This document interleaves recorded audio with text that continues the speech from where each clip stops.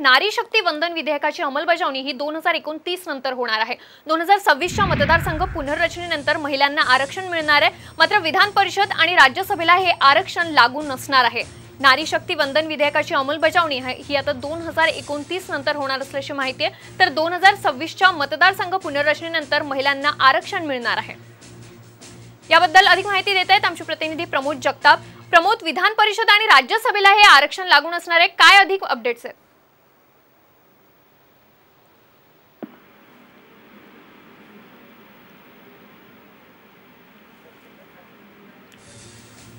नारी शक्ती वंदन विधेयकाची अंमलबजावणी ही दोन हजार एकोणतीस नंतर होणार आहे. तर दोन हजार सव्वीसच्या मतदारसंघ पुनर्रचनेनंतर महिलांना हे आरक्षण मिळणार आहे. मात्र विधान परिषद आणि राज्यसभेला हे आरक्षण लागू नसणार आहे.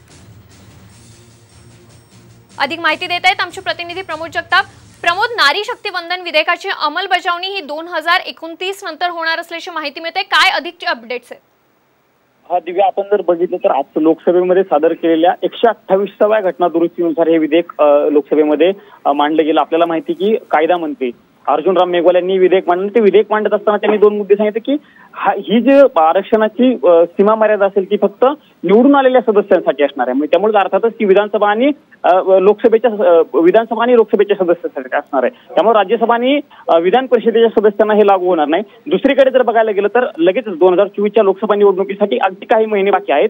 हे जर हे आरक्षण लागू करायचं असेल तर त्यासाठी मतदारसंघाची पुनर्रचना करणं अपेक्षित आहे. आणि ती एवढ्या कमी कालावधीत होणार नाही. तर ती दोन हजार सव्वीसच्या आसपास मतदारसंघाची पुनर्रचना होऊ शकते. त्यामुळं त्यानंतर ज्या निवडणुका होणार त्या बघायला गेलं तर खास करून दोन हजार एकोणतीसला थेट लोकसभेची निवडणूक होणार आहे. आणि त्यानंतर जर समजा एखादी विधानसभेची निवडणूक झाली तर त्याच वेळेस हे विधेयक लागू होणार आहे. त्यामुळं आता जरी धन्यवाद या सविस्तर माहितीसाठी. त्यामुळे आता नारी शक्ती वंदन विधेयकाची अंमलबजावणी ही दोन हजार एकोणतीस नंतर होणार आहे.